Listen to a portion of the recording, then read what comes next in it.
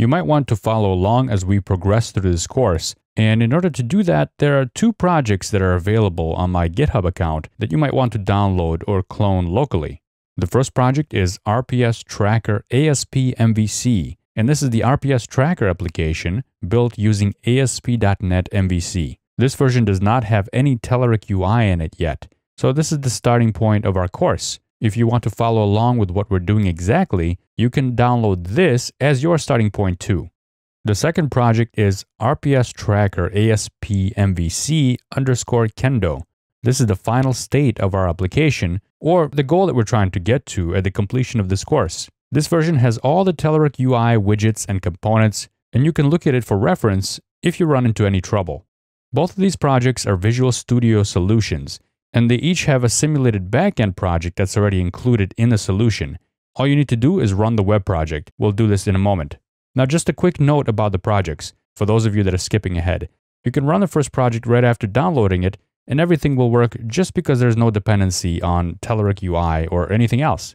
But you won't be able to run the second project until you've added the Telerik UI for ASP.NET MVC NuGet package to it. So hold off on running that one until we go through that process together. Head over to GitHub and then find this RPS Tracker ASP MVC project. We're going to start with this one. Here you have the option to clone or download. You can download this as is. Now I've already downloaded this and placed it on my machine. So all I have to do is just open this up in Visual Studio. This is the solution with three projects in it. We're going to be running the rps.web project. So make sure you go ahead and build the solution. And if build succeeds, you can go ahead and start the IIS Express server by clicking on this button up here. This will go ahead and start up our project.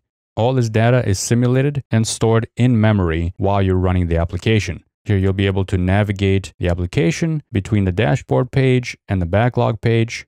You can add a new item here. If you add new items and then restart the application, those items will no longer be there because all the data is in memory. And if you stop or terminate the running process, that memory will be cleared out and those items will no longer be available.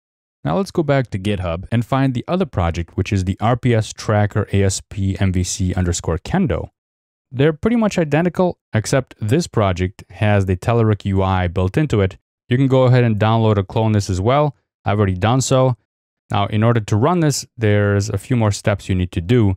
Let's discuss some installation options, and then we'll come back to running our finished application. In order to install Telerik UI for ASP.NET MVC, there are a few installation options and approaches available to you. And I'll discuss these from the most automated to the least automated. The first option is the fully automated approach. This is a Windows installer and it's available with your downloads. When you install this, it installs the Telerik UI templates that allow you to generate brand new applications in Visual Studio. These applications are based on the ASP.NET MVC application templates that come with Visual Studio, but they also add the Telerik UI on top of it. This is very useful if you're going to be starting a brand new application and you know you want to include Telerik UI with your apps. The second approach is installing a NuGet package into an existing application. Since we're already starting with an existing application, this is the approach I'll be using in this course because it offers enough automation to add the necessary assets and dependencies into an existing application, yet you have a bit of a manual control over this process and you can script this process. For example, if you have a CI build. If you are starting out with a brand new application, you can still use this option as well. You can create a new ASP.NET MVC app using the included Microsoft templates that come with Visual Studio, and then add the Telerik NuGet package. We'll be going through this shortly and we'll be adding the Telerik UI package to an existing application. And finally, the last approach is completely manual. You can use this approach if you want full control over absolutely every aspect of the installation of the Telerik UI libraries. You can place your DLL wherever you want to, you can place your scripts and your CSS assets wherever you want to, and you can update the web config file yourself. These are some of the things that installing the NuGet package automatically does for you. So let's go over the changes in your project when you install the NuGet package. First of all, the Telerik UI DLL is added to your project as a reference. Then a set of JavaScript and CSS files are included. These will be coming up in this course just a little bit later. And finally, the modification of web config is done for you automatically as well. And a namespace is registered in your system.web section so that Kendo server helpers can automatically be referenced in your Razor pages. If you're choosing the manual route of installation, you'd have to do this yourself.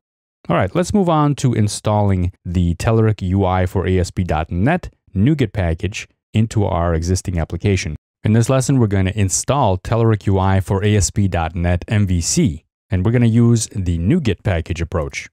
When you log into your Telerik account and you're on your account page, you can click on the Downloads link at the top to access the installer packages and the NuGet package downloads. Scroll down a little bit and find the section that says Progress Telerik UI for ASP.NET MVC.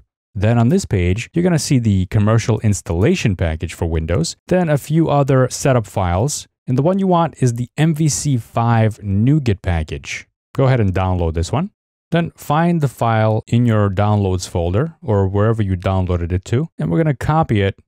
I'm going to bring it over to where I store my packages, and that's going to be in the code folder, Telerik UI, and just paste it right in here.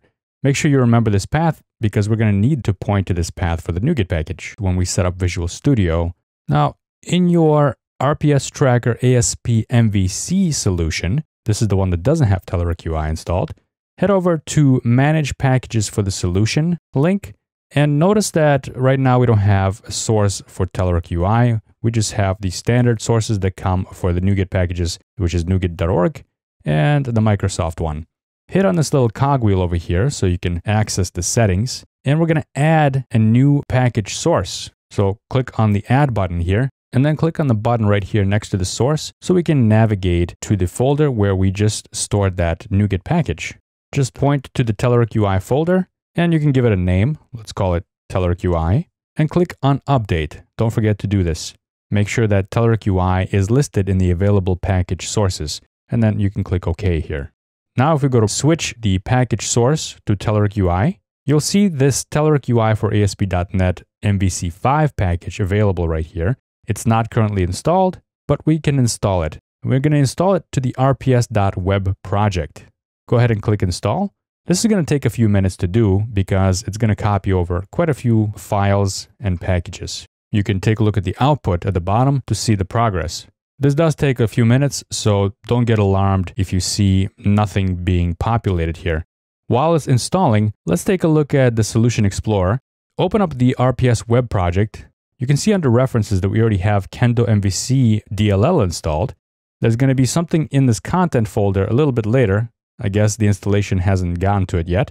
And then in the scripts folder, we have the Kendo folder, which has been installed by the NuGet package. This has all our JavaScript assets. The other change that the NuGet package installation does automatically for us is it edits the web config file. If we take a look here, you'll see that it added a new pages section and it registered the Kendo UI MVC namespace here. And while we are looking at the web config, it looks like our Kendo content folder got populated. It's still working a little bit by copying the files over. There's quite a few CSS and image files that need to be copied into the content folder but you can see that it's already there and being populated. We can keep an eye on the progress of the installation by going to the NuGet package manager here. And once it's done, you'll see the Telerik UI for ASP.NET MVC package under the installed tab. After installation, go ahead and run this project to make sure that everything still works as it should. And here we are in our RPS application and everything seems to be working just fine. We can navigate to the dashboard and the backlog. Now let's go back to our Finish RPS app. That's the one that already has Telerik UI installed. And now that we have a NuGet package repository for the Telerik UI components, we'll be able to run this app. We'll do that next. Now that we have the Telerik UI NuGet package source registered with Visual Studio, let's open up our RPS Tracker ASP-MVC Kendo solution. And let's take a look at the Solution Explorer here. We're going to go ahead and clean this solution. And after it's cleaned successfully, go ahead and do a rebuild of the entire solution. The reason I'm doing the clean and rebuild is sometimes not all the files get copied to the bin directories. I even had to manually go in there and delete everything out of the bin directory and rebuild after getting a complaint that some Roslyn files were missing. If you come across that error, just make sure that you go ahead and clean everything out. You can even delete everything from the bin folders in your projects and then rebuild. Once rebuilding is complete, go ahead and launch the application. And you can see that now the application is running with our Kendo UI components in place. You can navigate the filters on the dashboard and you can go to the backlog page and take a look at the items. Here's the details form with the Kendo UI components on the form. You can run both projects at the same time because they're running on different ports. The project you'll be working on throughout this course is running on port 49826 and the finished Kendo application is running on port 49827. So you can always run the finished project in the background just so that you have a visual reference of what the final result looks like. So if you get into any trouble while you're implementing, you can check to see the results. The two projects will not interfere with each other because they're running on different ports. All right, let's get into the next chapter where we're going to start doing some implementation. Let's take a moment to review the project structure just so that you're familiar with it. Here I have the RPS Tracker ASP MVC Kendo solution open, and we have three projects in here, Core, Data, and Web. The Core project has our entity models and also our data transfer models. So things like user, which has a full name and an avatar, and it inherits from object base, which gives us things like ID, title, date created, and date modified, and so on. And then the PT item, this is the actual backlog item. So it has a description, an estimate, priority, status, type, assignee, which is a PT user, a list of tasks, and a list of comments. You'll see all these surfaced on the front end.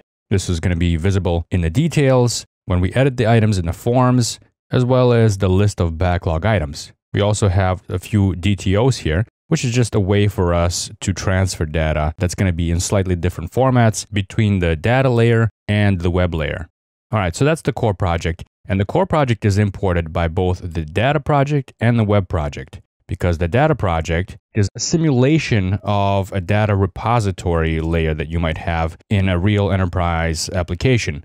So this will have your repositories, this will have maybe your ORM connection, in our case, we don't have a database or an ORM.